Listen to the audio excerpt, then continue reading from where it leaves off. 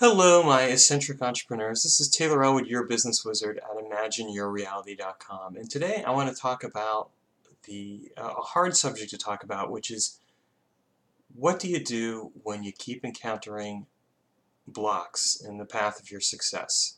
What do you do when you feel like no matter what you do, you're failing in your business? You know, uh, the other day I was in a conversation with someone, and she said, "You know, I've been I've been trying for the last number of years, and no matter what I've tried to do, I've I've tried you know five different things, and it just seems like I keep getting in my own way, and I keep I keep failing, but I don't know what else to do. I just have to keep moving forward."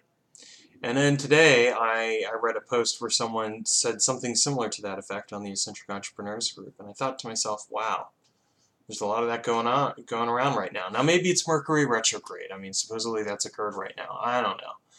You know, I, I I'm going to just say kick Mercury retrograde to the curb and let's focus on on the real issue here.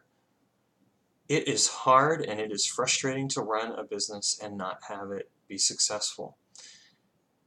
And here's the thing, behind every successful person are hours upon hours of blood, sweat, and tear, hours upon hours of failure, no one that I know of who is successful was an overnight success. And if it seems like they were an overnight success, if you talk to them, they'll, they'll hopefully be honest with you and say, no, really, I spent years doing things. And I'm going to use myself as an example. I started my business back in 2008. I didn't know what I wanted to do at first. The first half year, I didn't have clue one. I went from being a wealth and creativity coach to being a a um, spiritual coach to being a business coach to then settling down and focusing on social media. And the only reason I focused on social media was because it seemed like the only thing that people were willing to pay for. And then I spent I did that for a couple years and I hated it. And then I transitioned into business coaching. And I've been doing that for a while now, but even that has changed over the years. I only now feel like I'm even starting to get some sense of success, and even now it's still a struggle in some ways. So I'm going to level with all of you. If you want to own a business, here's the harsh reality. It is hard. It is a struggle. You will fail multiple times. And only you can know when you've reached your breaking point and when you've got to quit.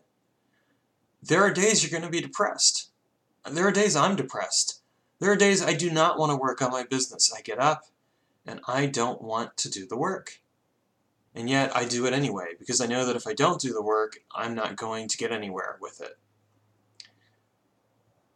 Being an entrepreneur is often a lonely path. It is a hard path. There are times where it feels like you are never going to break through. And then there are other times where some success comes your way and you're like, yes, things are finally going my way. And it goes your way for a little while and then all of a sudden it just and it's tough. And you're like, well, what happened? Why didn't it work out? What changed? And only you can really, uh, only you can really figure that out. Well, maybe not. Maybe that's where you bring someone like me in, and I help you take a look and figure out. But the point is, is that at some point you got to figure it out.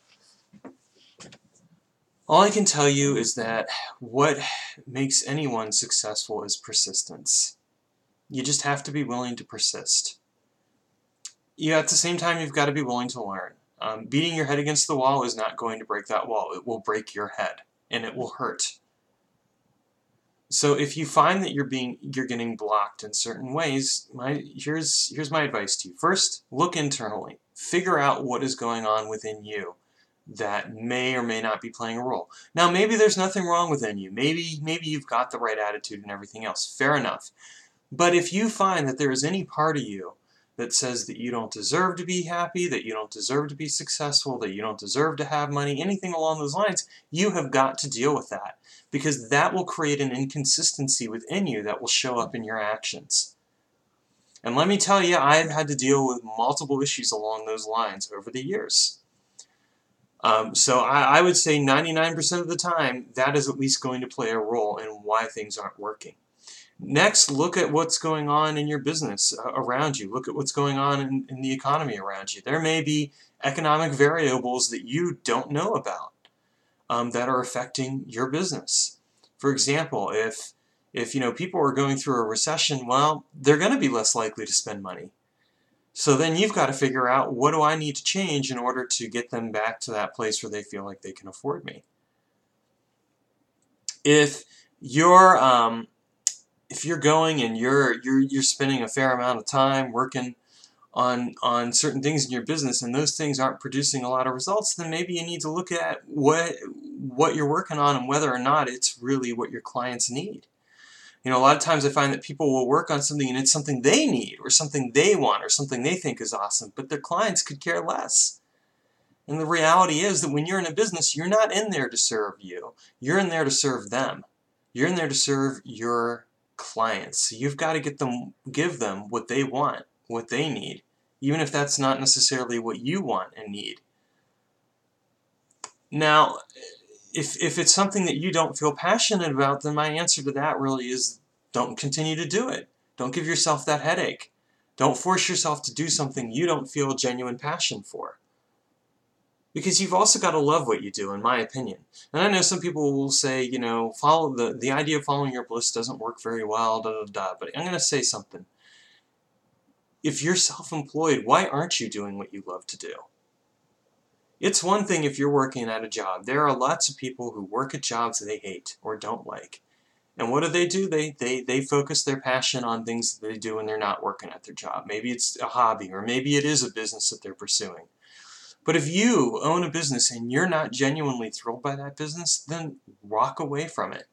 I walked away from my social media business. It was, I might add, starting to get to a point where I was starting to see some increases in, in money and all that and, and everything else. It was starting to work out, but I didn't enjoy it. I hated it, and I didn't want to do it. So I took the, the bold risk of walking away. And maybe that's what you need to do. Now, I'm, I'm sharing this video with you, and I'm, I'm doing it not to, to bring you down or anything, but because I know where you're at. I know the frustration you're feeling. I have felt it. I still feel it sometimes. And my answer to you is really you just have to persist. You've just got to trust yourself. You know, this last year, I, I went and I took a bold step in a couple different ways. I decided to basically give a giant FU to the convention scene that I was going to and presenting at because I was tired of the inequities that were occurring there when it came to how they treated presenters. And what I also did is I decided that I was going to stop networking because networking wasn't working for me. I wasn't getting any business. No one was referring me. And I decided to change how I approach things. I decided to become the business wizard for eccentric entrepreneurs. This entire year has been an experiment, and some things have failed, and some things have worked. I'm continuing to work with the things that have worked, and I'm continuing to figure out what failed with the things that didn't work, and what do I need to change. And at the end of the day, that's all you can really do. You just have to work your process. And I know it's not easy because there are times where you don't have a lot of money, because there are times where you're sweating, because there are times where you're wondering, what am I going to do to make things successful. And all I can really say to that is maybe you need to sometimes get a job or if you're fortunate enough to have someone who loves you and believes in you and supports you then make sure you make that person feel really special and support them and love them and take care of them as well because they're helping you do what you want to do. But most of all keep working at it. Don't give up. Keep persisting. Figure out what works and and work it to the hilt and then figure and then try some new things and work those to the hilt. And don't get attached to your results. Just just work it. And that's my message for you today. I love all of you my eccentric entrepreneurs. You are dear to me. You are important to me and I want you to succeed. So please don't give up or if you are ready to give up be gentle with yourself. Don't don't judge yourself this is not an easy game to play, being an, an eccentric entrepreneur or being an entrepreneur, period. But I believe in you, and I know that you can do it.